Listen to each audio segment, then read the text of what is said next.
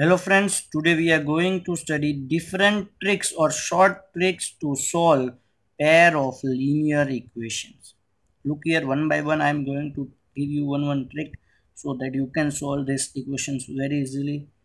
Look here, by looking at the equation only first you come to know that here the ratio of this will be 1 by 2 and here the ratio of this will be also 1 by 2.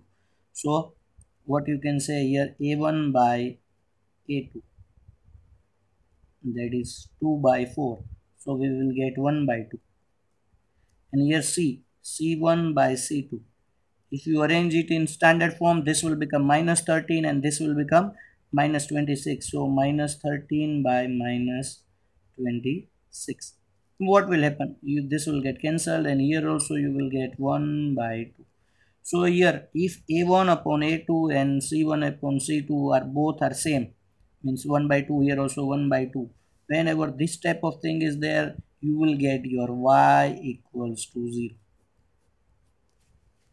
I, I had solved this but by uh, seeing only the equation you will come to know that here y will be equal to 0 look here. Here you can see that here ratio of this b b1 upon b2 will be 1 by 2 and c1 upon c will be also 1 by 2 b1 upon b2 that is 3 by 6 so that will be also become 1 by 2 and c1 by c2 that will also become 13 by 26 or minus 13 by minus 26 because if we arrange it standard.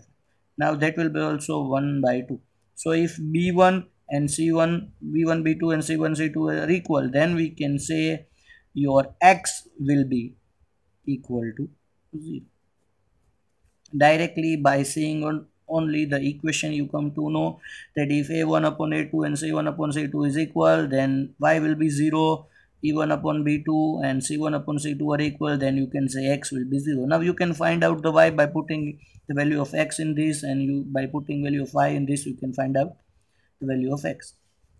Moving towards the next equation actually here we are going to find out x and by by a short method you call it a short method but actually that is also from one of the methods that we are regularly what we have to do. First we have to arrange it in standard form. This is basic. Every time you have to arrange it in standard form then only you will get the answer. This become minus 2 and this will become sorry this will become minus 13 and this will become plus 2 now this is your standard form. Now directly you can find out x how just you have to write x is equal. First you have to multiply these two numbers 3 into 2 6 then you have to multiply these two number this two. So that will become first you have to write down that 6 minus and then you have to multiply this. This will become minus 4 into minus 13 minus sorry plus 50 upon then you have to multiply this 2 into minus 4 minus 8 minus you have to subtract. And 5 into 3 that will be plus 50 look here so simple. First you have to multiply this with here minus and then this with here. Then this to this then minus and this to this. Now we will get directly x value of x. 6 minus 52 will become minus 46 minus 8 minus 15 will become minus 23 so this minus minus will get cancelled and you will get answer 2 so you got x is equal to 2 now i am going to tell you how we got this but first we will find out y now you got x. Now putting it any of the equation you will get y. Directly you say 2 into 2 plus 3y is equal to 30 so this 3y will be 2 to the 4 and go on that side minus 4. 3y is equal to 9 and y will be 9 by 3 that will be 3. Now many of you will get the trick from where I got this because you, I had done cross multiplication so you will come to know that I had taken this trick from cross multiplication.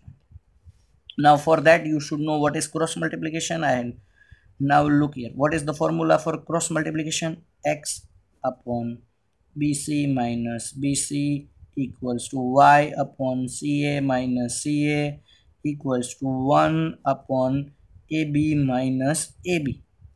1, 2, 2, 1, 1, 2, 2, 1, 1, 2, 2 1 so this way i remember this formula. You can also remember this formula. This is a cross multiplication. What i had done i had just multiplied this x1 i had taken this x upon this equals to the 1 upon this and then i had taken this from the numerator to the denominator. Means x will be directly equal to this. All three are equal. So i had taken this two in the consideration and now i multiply this here. So i will get x is equal to b1c2 minus b2c1 upon a1 b2 minus a2 b1 so this is the short trick actually this is from the cross multiplication method only but here we are going doing everything systematically but here we are directly doing it so you can call it short trick or short method.